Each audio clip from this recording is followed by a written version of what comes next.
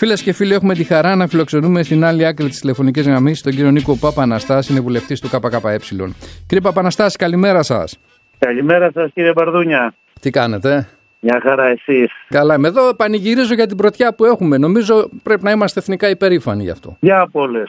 Ε, έχουμε κι άλλες, δεν τις ξέρω. είμαστε... Μα τώρα τελευταία, ενώ νομίζω ότι έχουμε πατώσει πρώτα απ' όλα τη δυνατότητα ακόμα και της επιβίωσης του λαού έχουμε πατώσει πραγματικά όλο πρωτιές ακούμε. Γι' αυτό έτσι ε, είμαστε καταρχήν στην πρώτη θέση στην, ε, στο κόστος ρεύματος στην Ευρωπαϊκή Ένωση. Είναι μια σημαντική πρωτιά αυτή έξι φορές ακριβότερη από τη Γαλλία παρακαλώ.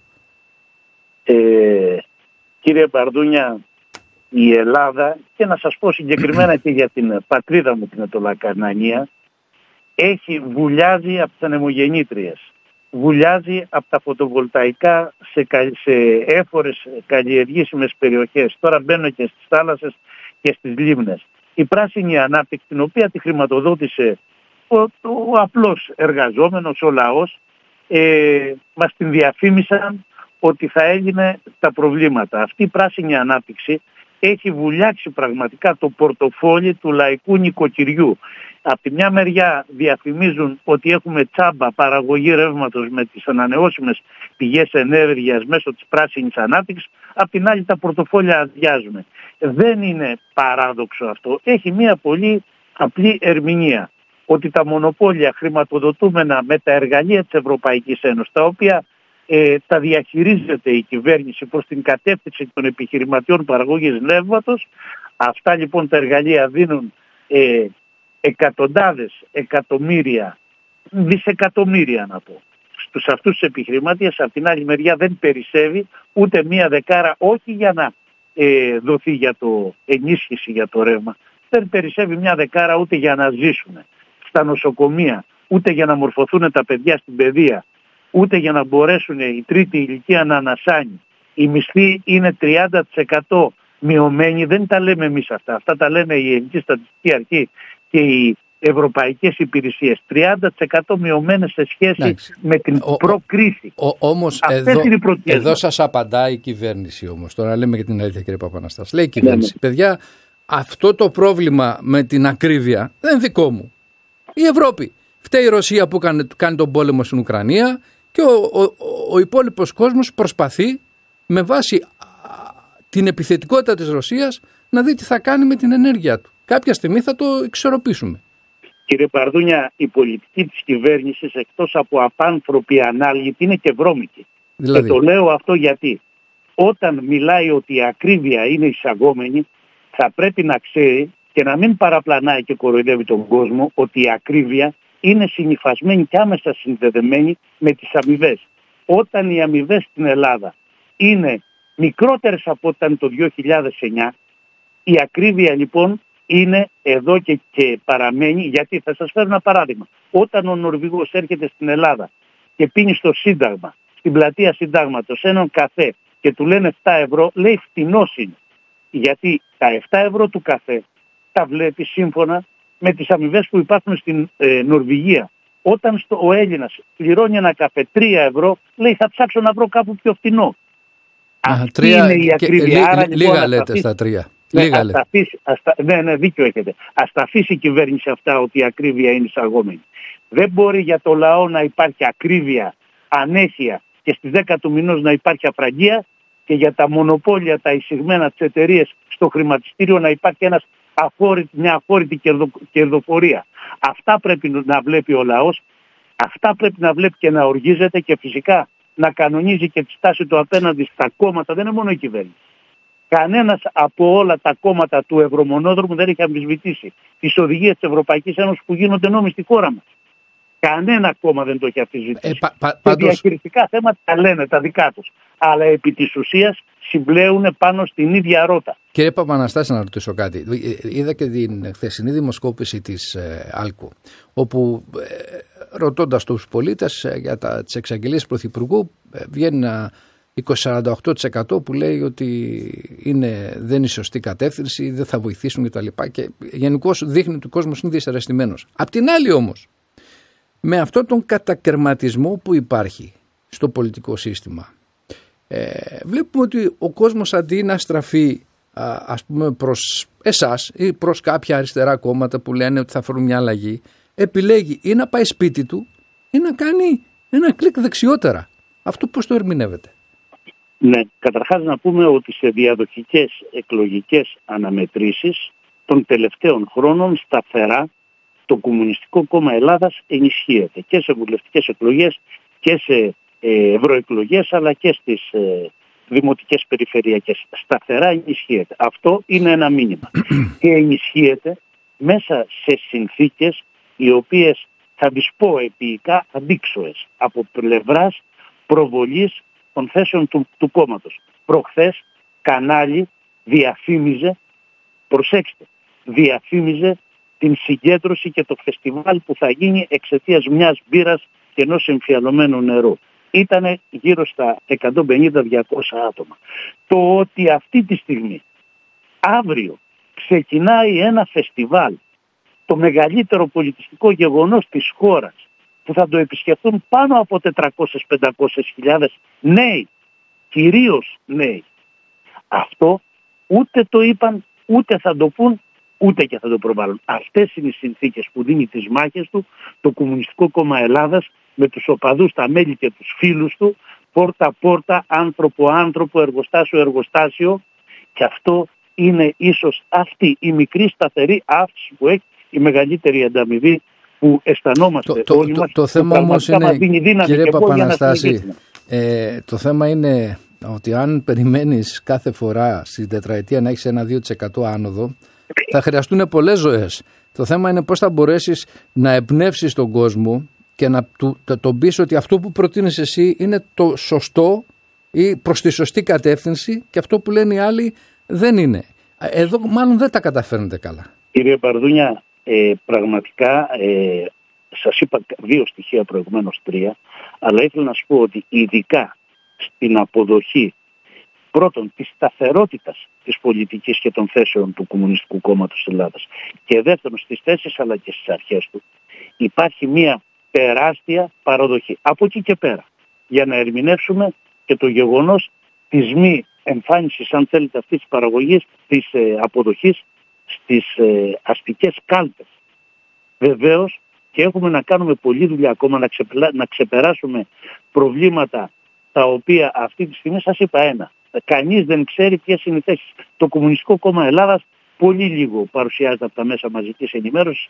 Μάλιστα νομίζω ότι υπολείπεται και από αυτά που προβλέπει και η αστική νομοθεσία σε σχέση με αυτά. Ε, είναι ένα βασικό στοιχείο αυτό κάνουμε πραγματικά ό,τι μπορούμε και να, να, να μπορέσουμε να συζητήσουμε με τον κόσμο. Και να σας πω και κάτι. Ίσως στο, στην κάλπη να μην φαίνεται. Στους χώρους δουλειάς, στα σωματεία και οπουδήποτε υπάρχει η εργοδοτική καταπίεση ε, στον εργαζόμενο, το Κομμουνιστικό Κόμμα Ελλάδας είναι πραγματικά πρώτο. Και μας δίνει ακόμα μεγαλύτερη δύναμη το ότι αυτή η πρωτιά αγκαλιάζει την νεολαία μας, τα πανεπιστήμια, την ελπίδα του αύριο. Δέστε τη Λάρκο. Δέστε τη Λάρκο.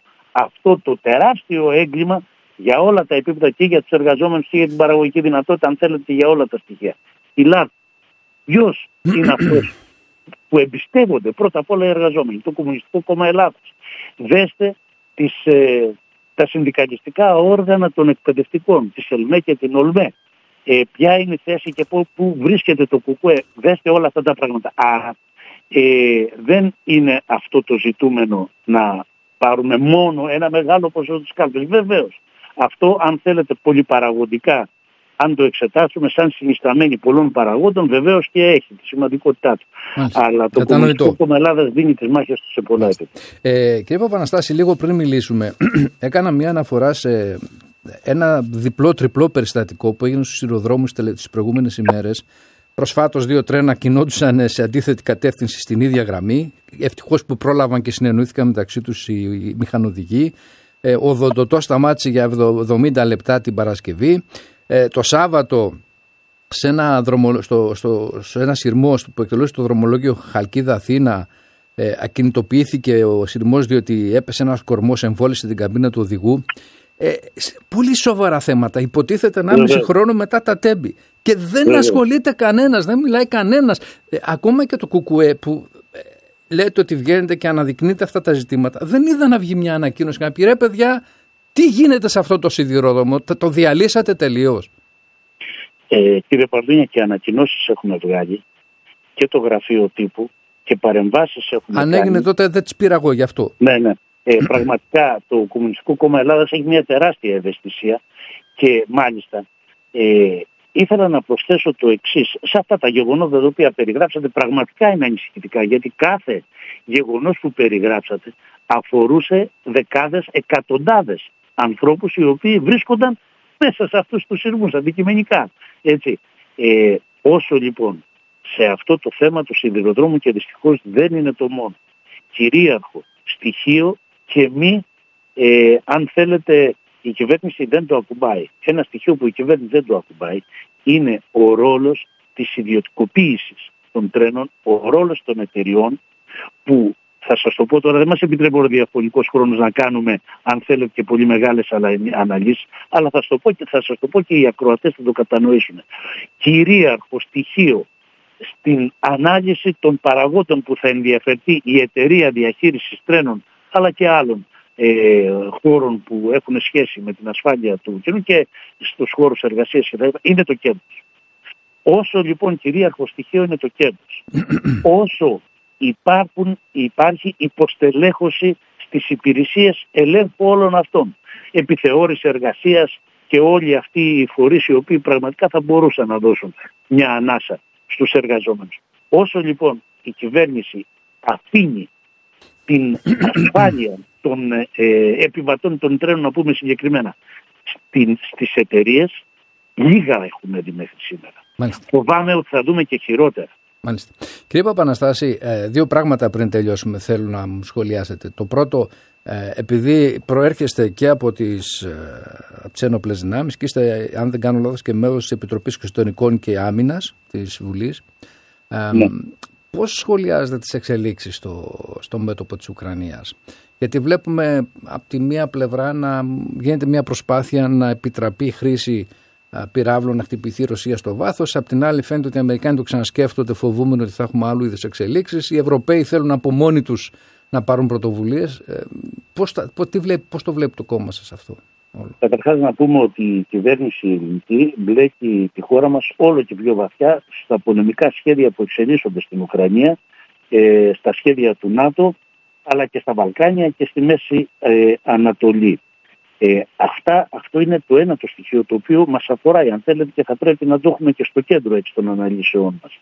Από την άλλη μεριά, ε, αναφέρατε δύο στοιχεία τα οποία πλέον τεκμηριώνονται. Δηλαδή, ένα παράδειγμα θα σας πω, η Βρετανία αυτή τη στιγμή ε, εξοπλίζει την Ουκρανία, δεν έχει δώσει πυράβλους, ε, ένα είδος πυράβλων τέλος πάντων δεν έχει σημασία να πούμε το όνομά τους, ε, οι οποίοι είναι πολύ μεγάλο βεληνικούς, τους οποίους η Ρωσία είπε αν αυτοί οι πύραυλοι χρησιμοποιηθούν θα θεωρήσουμε ότι είναι μια ε, άμεση και ισχυρή παρέμβαση στην ασφάλεια της Ρωσίας και αποδεσμευόμαστε στο να χρησιμοποιήσουμε, προσέξτε, τακτικά πυρηνικά όπλα για την ασφάλεια της Ρωσίας. Ήταν μια σαφής δήλωση της Μόσχας αυτή. Τακτικά πυρηνικά όπλα, με το πρόθεμα τακτικά ξέρετε τι σημαίνει, ότι αυτά τα πυρηνικά όπλα είναι από ε, ισχύ, ε, έχουν ισχύ, ισχύ από 500 ε, κιλοτόνους εκρηκτικής ύλης μέχρι χίλιους κιλοτόνους. Χίλια, καταλαβαίνετε την ισχύ τους. Άρα λοιπόν αυτά είναι δηλωμένα αυτή τη στιγμή και δεν είναι μόνο ο πόλεμος ως γεγονός να δούμε. Είναι ό,τι συμπαρασύρει ο πόλεμος. Αυτή τη στιγμή αν θέλετε ως αντιμετώπιση της κρίσης η οποία φαίνεται ότι έρχεται στην Ευρωπαϊκή Ένωση και γενικά στον καπιταλιστικό κόσμο η, ο πόλεμος, οι επενδύσεις στον πόλεμο ε, αρχίζουν και αυξάνονται για πολλούς λόγους, μην τα πούμε τώρα, περί συσσωρευμένων κεφαλαίων. Μάλιστα, όχι, δε, ε, ούτως, έχουμε ένα λεπτό ακόμη, ένα λεπτό Έτσι. ακόμη αν θέλετε. Άρα λοιπόν οι εξελίξεις είναι τρομερά επικίνδυνες. Η χώρα μας, η κυβέρνηση και σε αυτό συνενούν όλα τα κόμματα. Συνεχίζει να μπαίνει όλο και πιο βαθιά σε αυτόν, το, σε αυτόν τον πόλεμο. Συνεχίζει να ενισχύει την Ουκρανία με οπλικά συστήματα και πυρομαχικά που τα αποδεσμεύει με έναν έολο τίτλο μη επιχειρησιακά αναγκαία. Συνεχίζει. Σήμερα το απόγευμα για παράδειγμα έχουμε ε, εξ, ε, επιτροπή εξοπλιστικών. Δεν έχει νόημα να πούμε από το ραδιόφωνο τι θα μπει, αν και ε, από την κυβέρνηση που έχει αυτή τη στιγμή τα χαρτιά έχουν διαρρεύσει στους δημοσιογράφους. Έτσι και υπάρχει και σχετική αντρογραφία. Δεν θα το... Μάλιστα. Δεν, θα, και δεν, δεν θέλουμε αυτή τη στιγμή. Άρα λοιπόν συνεχίζει, συνεχίζει αυτός ο εξοπλισμός συνεχίζει το βάθεμα, συνεχίζει να υπάρχουν στο Σαουδική Αραβία συστοιχίες πάτριο ελληνικές, συνεχίζουν να υπάρχουν μονάδες αντιαρματικών στη Βουλγαρία, συνεχίζει να είναι η φρεγάτα στην ε, Ερυθρά θάλασσα και ετοιμάζεται να αντικατασταθεί από την άλλη φρεγάτα της Πέτσες, συνεχίζει καθημερινά η αεροπορία μας και το πολεμικό ναυτικό να ασκείται στα επιχειρησιακά σχέδια του ΝΑΤΟ σε ασκήσεις πρόβες πολέμου δηλαδή, συνεχίζει η Αλεξανδρούπολη να είναι η πόρτα για να ενισχύεται με κάθε είδους υλικό και καύσιμα ε, το μέτωπο της Ουκρανίας. Η χώρα μας είναι στο μάτι του κυκλώνα. Μάλιστα. Πρέπει να καταλάβει ο ελληνικός λαός ότι η χώρα μας και συγκεκριμένες περιοχές αυτή τη στιγμή ή όταν υπάρχουν οι προϋποθέσεις θα τις σημαδεύουν βαλιστική πύρα. Μάλιστα. Λοιπόν, ε, κύριε Παπαναστάση, να σας ευχαριστήσω. Δυστυχώς δεν έχω άλλο χρόνο. Να είστε καλά, ε, κύριε Καλημέρα σας. Καλημέρα σας. Γεια σας.